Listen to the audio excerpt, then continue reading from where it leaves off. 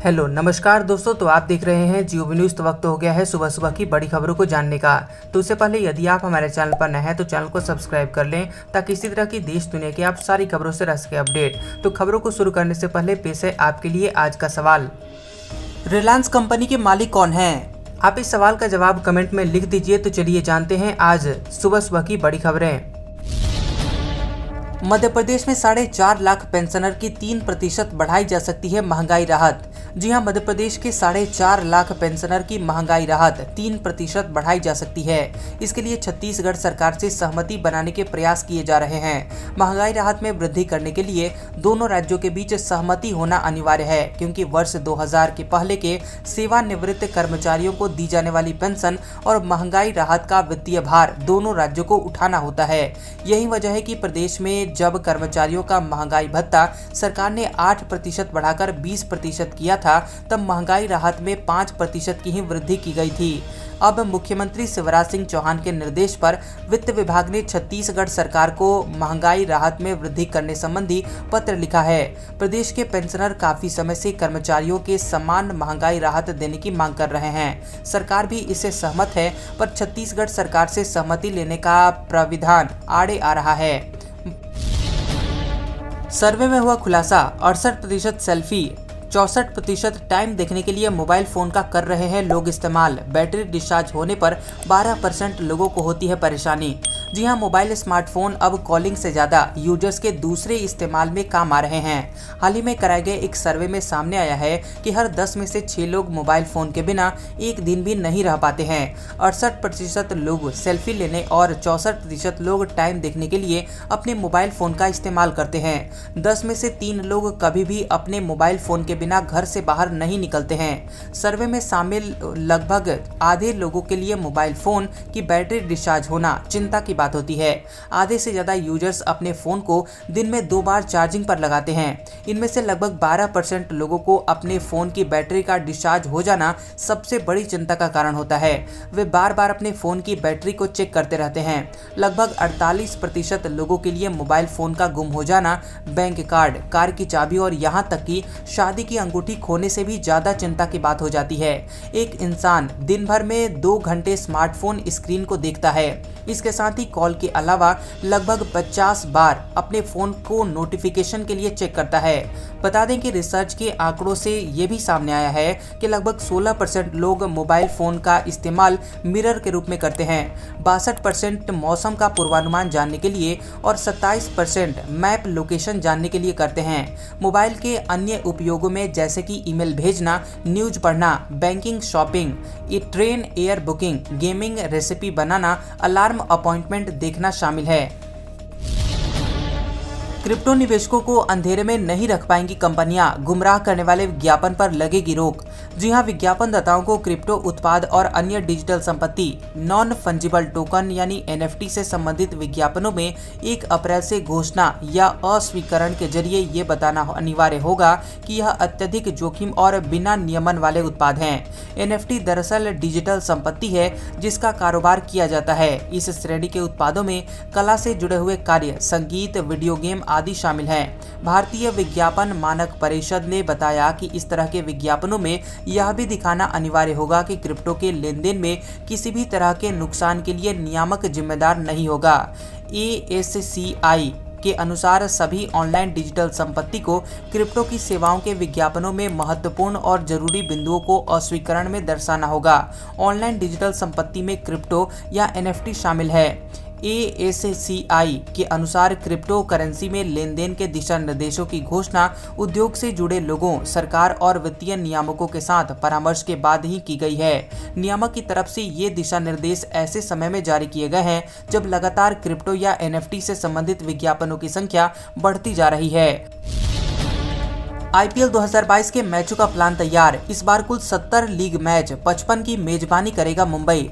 जी हाँ, आईपीएल के पंद्रहवें सीज़न। आईपीएल 2022 की तैयारियाँ ज़ोर शोर से जारी हैं। कोरोना महामारी के चलते यह लीग लगातार तीसरी बार बायो बबल में आयोजित की जाएगी।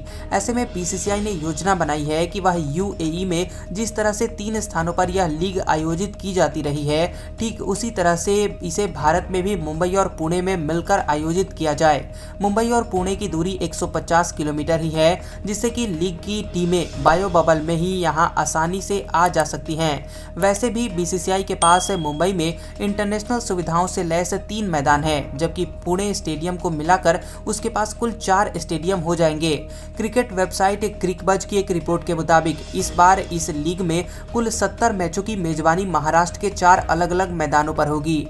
इन चार में से तीन मुंबई के स्थान हैं, जिनमें वानखेड़े स्टेडियम ब्रेबॉर्न स्टेडियम और मुंबई के डीवाई पाटिल स्टेडियम हैं। इन तीनों मैदानों में कुल 55 मैच आयोजित किए जाएँगे, जबकि बाकी के 15 मैच पुणे के एमसीए स्टेडियम में आयोजित होने की संभावना है। आम आदमी पार्टी के नेता ने दागा सवाल, बोले, अमित शाह का बेटा दुबई के शेखों संग करोड़ों कमाएगा और यूपी का युवा गोबर बेचेगा। जी हाँ आम आदमी पार्टी के नेता और राज्यसभा सांसद संजय सिंह ने प्रधानमंत्री नरेंद्र मोदी के गोबर से इनकम वाले बयान के बहाने गृह मंत्री अमित शाह के बेटे जय शाह जो कि बीसीसीआई के सचिव है, उन पर निशाना साधा। संजय सिंह ने कहा कि अमित शाह का बेटा जय शाह दुबई के सिखों के साथ करोड़ों कमाएगा और यूपी का युवा गोबर बेचेगा। दरअसल, प्रधानमंत्री नरेंद्र मोदी ने उत्तर प्रदेश विधानसभा चुनाव के बीच उन्नाव में एक चुनावी जनसभा को संबोधित करते हुए आवारा पशुओं के विषय पर कहा कि अब जानवरों के गोबर से भी आपकी आय होगी। इसको लेकर संजय सिंह ने ट्वीट करते हुए कहा कि मोदी जी की गोबर योजना। मोदी बोल रहे हैं, अब नौजवान गोबर बेचकर आमदनी करेगा और अमित शाह के शहजादे जय शाह दुबई के सेकों के साथ करोड़ कमाएँगे। इंडियन इकोनॉमी के लिए अच्छी खबर मूडीज ने जीडीपी ग्रोथ रेट के अनुमान को बढ़ाकर किया नौ दशमलव पाँच फ़ीसदी। जी हाँ rating agency Moody's investor service ने कैलेंडर वर्ष 2022 के लिए भारत का ग्रोथ रेट अनुमान बढ़ाकर नौ दशमलव पाँच फ़ीसदी कर दिया है। मूडीज ने इससे पहले सात फ़ीसदी का ग्रोथ रेट अनुमान दिया था। 2023 के लिए जीडीपी ग्रोथ अनुमान पाँच दशमलव पाँच फ़ीसदी पर बरकरार रखा गया है। मूडीज ने अपनी रिपोर्ट में कहा है कि कोरोना महामारी और दूसरी लहर के बाद भारतीय भारतीय अर्थव्यवस्था तेज़ी के साथ रिकवर कर रही है। मूडीज का ये अनुमान आरबीआई के अनुमान से 60 बेसिक पॉइंट ज़्यादा है। आरबीआई ने भारतीय अर्थव्यवस्था के 2022-23 में 7.8 फ़ीसदी के दर से विकास करने का अनुमान जताया है। कैलेंडर ईयर के लिए जारी अनुमान के हिसाब से वित्त वर्ष 2023 में ग्रोथ आठ दशमलव चार फ़ीसदी और वित्त वर्ष 2024 में ग्रोथ छह दशमलव पाँच फ़ीसदी रह सकती है। हालाँकि केंद्र सरकार के इकोनॉमिक सर्वे 2021-22 में अगले वित्त वर्ष के लिए आठ से साढ़े आठ फ़ीसदी के रियल जीडीपी ग्रोथ रेट का अनुमान जताया गया है। तो वही बजट में ग्यारह दशमलव एक फ़ीसदी की नॉमिनल जीडीपी ग्रोथ रेट का अनुमान था। एक करोड़ से अधिक लोगों ने छोड़ी एलपीजी सब्सिडी। उज्ज्वला योजना के तहत इतने लाख लोगों को मिला रोज़गार। जी हाँ, प्रधानमंत्री उज्ज्वला योजना के लागू होने के बाद से देश के करीब एक करोड़ से ज़्यादा लोगों ने रसोई गैस पर मिलने वाली सब्सिडी छोड़ दी है। केंद्रीय पेट्रोलियम एवं प्राकृतिक गैस राज्य मंत्री रामेश्वर तेली ने कहा कि योजना के लागू होने से रसोई गैस यानी एलपीजी वितरण प्रणाली के ज़रिए एक लाख लोगों को रोज़गार मिला है। एक वेबिनार में उन्होंने कहा कि पिछले पाँच साल में एलपीजी की पहुँच इकसठ दशमलव नौ फ़ीसदी से बढ़कर करीब सौ फ़ीसदी पहुँच गई है। प्रधानमंत्री गरीब कल्याण पैकेज के हिस्से के रूप में महामारी के दौरान प्रधानमंत्री उज्ज्वला योजना के लाभार्थियों को 14 करोड़ से अधिक भरे सिलेंडर मुफ़्त में दिए गए। वेबिनार में हिंदुस्तान पेट्रोलियम कॉरपोरेशन लिमिटेड के निदेशक राकेश मिस्त्री भी थे, जिसमें उन्होंने कहा कि एक करोड़ से ज़्यादा लोगों ने खुद आगे आकर एलपीजी पर मिलने वाली सब्सिडी छोड़ दी है। इसका लाभ जरूरतमंदों को मिला है। उज्ज्वला योजना को घर घर तक पहुँचाने के लिए प्रधानमंत्री एलपीजी पंचायतों का आयोजन किया गया। दिल्ली में बनेगा देश का पहला E waste management eco park. फ़िल्मों को बढ़ावा देने के लिए हुए ये फैसले। जी हाँ पार्क तो आपने बहुत सारे देखे होंगे और कई बार वहाँ पर घूमने भी गए होंगे, लेकिन दिल्ली में एक नए तरह का पार्क बनने वाला है। देश की राजधानी में E waste management eco park बनेगा। दिल्ली कैबिनेट ने ये अहम फैसला लिया है। ई वेस्ट यानी इलेक्ट्रिक कचरा के निस्तारण को लेकर यह बड़ा कदम होगा। राष्ट्रीय राजधानी में 20 एकड़ एरिया में इसे बनाया जाएगा। आपकी जानकारी के लिए बता दें कि दिल्ली में हर साल दो लाख टन ई कचरा होता है। केजरीवाल कैबिनेट ने दिल्ली फ़िल्म पॉलिसी को भी मंजूरी दी है। फ़िल्मों को बढ़ावा देने के लिए तीन करोड़ रुपए तक की सब्सिडी दी जाएगी। फ़िल्म एडवाइजरी बोर्ड की भी स्थापना की जाएगी, जो इसे बढ़ावा देने के लिए राय देगी। आने वाले दिनों में आप दिल्ली फ़िल्म फेस्टिवल में भी शिरकत कर सकेंगे। दरअसल यह दिल्ली का अपना इंटरनेशनल फ़िल्म फेस्टिवल होगा। राज्य सरकार इसका आयोजन करेगी। हंडिया में अखिलेश यादव ने बीजेपी पर कसा तंज, बोले, आरक्षण देने से बचने के लिए बेची जा रही है सरकारी संपत्ति। जी हाँ, उत्तर प्रदेश में पाँचवें चरण के विधानसभा चुनाव के लिए सभी दल प्रचार में जुटे हुए हैं। सपा अध्यक्ष अखिलेश यादव ने प्रयागराज में जनसभा को संबोधित किया। हंडिया में अखिलेश यादव ने बीजेपी पर जमकर हमला बोला। बीजेपी पर कटाक्ष करते हुए अखिलेश यादव ने कहा कि बीजेपी कहती थी कि वह हवाई चप्पल पहनने वाले आम लोगों को भी विमानों से यात्रा करने में सक्षम बनाएगी, लेकिन इन्होंने तो हवाई अड्डों और एयरलाइंस को ही बेच दिया है। बता दें कि अखिलेश यादव ने पीएम मोदी के एक पुराने बयान पर कटाक्ष किया। प्रधानमंत्री मोदी ने पहले हवाई चप्पल पहनने वालों को हवाई यात्रा कराने में सक्षम बनाने की बात कही थी। इसी बयान पर अखिलेश यादव ने अब हमला बोला है। अखिलेश यादव ने प्रयागराज की हंडिया विधानसभा क्षेत्र के पॉलीटेक्निक कॉलेज में एक जनसभा को संबोधित किया और उन्होंने आरोप लगाया कि केंद्र सरकार आरक्षण देने से बचने के लिए सरकारी संपत्तियों को बेच रही है, ताकि आरक्षण न देना पड़े। यूज़र्स के लिए काम की खबर, आधार अपडेट के लिए शुरू हुई नई सर्विस यू ने दी जानकारी। जी हाँ भारत में आधार कार्ड एक ज़रूरी दस्तावेज़ बन गया है। इसके बिना आधार कार्ड सिर्फ़ पहचान का प्रमाण भी नहीं, बल्कि कई सरकारी और गैर सरकारी बेनिफिट्स के लिए अनिवार्य दस्तावेज़ भी है। हमारा आधार कार्ड यूनिक डॉक्यूमेंट है, क्योंकि इसमें ज़रूरी जानकारी मौजूद होती है। बच्चों के एडमिशन से लेकर सरकारी फॉर्म भरने तक आधार कार्ड का इस्तेमाल किया जाता है। हालाँकि कई बार ऐसा होता है कि आपको आधार में नाम पता, जन्मतिथि बदलने की ज़रूरत पड़ जाती है, या फिर नया आधार कार्ड बनवाना होता है। ऐसे में अब आपको आधार सेंटर जाने की ज़रूरत नहीं पड़ेगी। अब आप घर बैठे आसानी से अपॉइंटमेंट ले सकते हैं और आधार सेवा केंद्र में लगी लंबी लाइनों से बच सकते हैं। अपॉइंटमेंट के ज़रिए आप नया आधार नामांकन, नाम अपडेट, पता update, mobile number update, email update और जन्मतिथि अपडेट, लिंग अपडेट और बायोमेट्रिक अपडेट करवा सकते हैं। इसको आप यूआईडीआई के वेबसाइट पर जाकर अपॉइंटमेंट बुक कर सकते हैं। राजस्थान सरकार ने सभी विधायकों को गिफ्ट किया आईफोन 13 तो भाजपा का लौटाने का ऐलान। जी हाँ, राज्य विधानसभा में बजट पेश होने के बाद राजस्थान सरकार ने सभी 200 विधायकों को आईफोन 13 गिफ्ट के तौर पर दिया है। ज़्यादातर विधायक इस गिफ्ट को पाकर खुश हुए, लेकिन भाजपा ने ये फ़ोन स्वीकार करने से इनकार कर दिया और पार्टी के सभी विधायक अपने आईफोन लौटा देंगे।